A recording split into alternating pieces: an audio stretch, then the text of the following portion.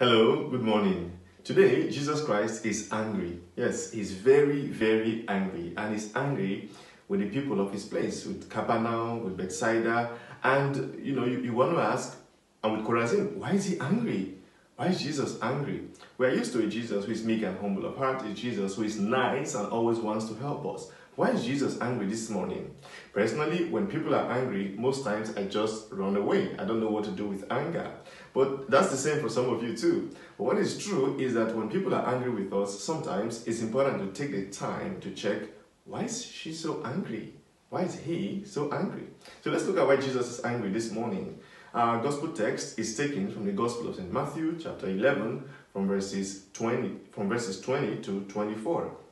In this gospel text, what happens is that Jesus comes back to his place. He comes back to Capernaum, he comes back to Chorazin, he comes back to those places where he had done a lot of miracles. And he discovered that the people had not changed, that the people were not converted. So he's angry and he begins to say to them, Woe to you, because if the miracles done in your place were done in Sodom and Gomorrah, if they were done in Tyre and Sidon, those cities would have repented and they would not have been destroyed. So you think that you're going to be elevated above all the regions, uh, you Capernaum? No, you're going to go down into the nether world, and so on and so forth. So Jesus is really angry and he's giving it to them.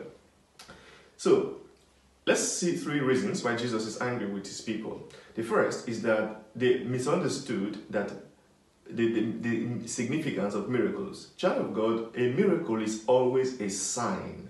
A miracle is never a show or a spectacle. A miracle is always a sign pointing to something else. So, for instance, when Jesus comes to heal the sick, he's showing us what we can do. He's showing us the need to convert and follow God. Now, if God saved you from dying the last time, what he simply wants is more gratitude in your life. He wants you to become a different person.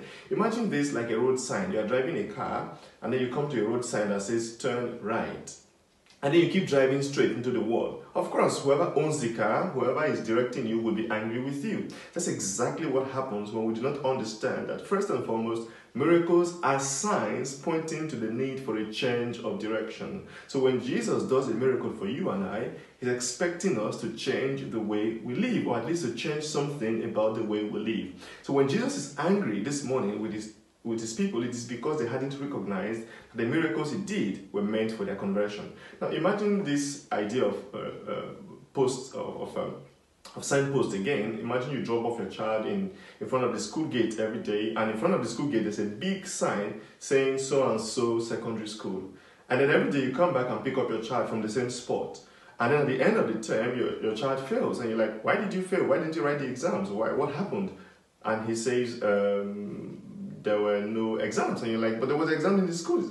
And then you realize that every time you dropped your child in front of that signpost, he just stayed there until you came back in the afternoon to pick him up. He never went into the school. Of course, you'll be mad with your child. That's exactly what happens when we stay with miracles as spectacles, as shows, and not transform our lives by them. So that's why Jesus is angry this morning. The second reason why Jesus is angry this morning is that these people didn't realize their privilege. Child of God, it's always important to remember when you're in a privileged position to use it well. You know, they had Jesus with them. The people of Sodom and Gomorrah didn't have Jesus with them. The people of Tyre and Sidon didn't have Jesus with them. But these people had Jesus with them. He lived among them, and yet they did not recognize this privilege and change. So Jesus is angry whenever we abuse our privileges. Jesus is angry whenever we do not realize even that we are privileged people. I remember as a kid that my dad told us a story of a man who always criticized a church warden for coming late to the church.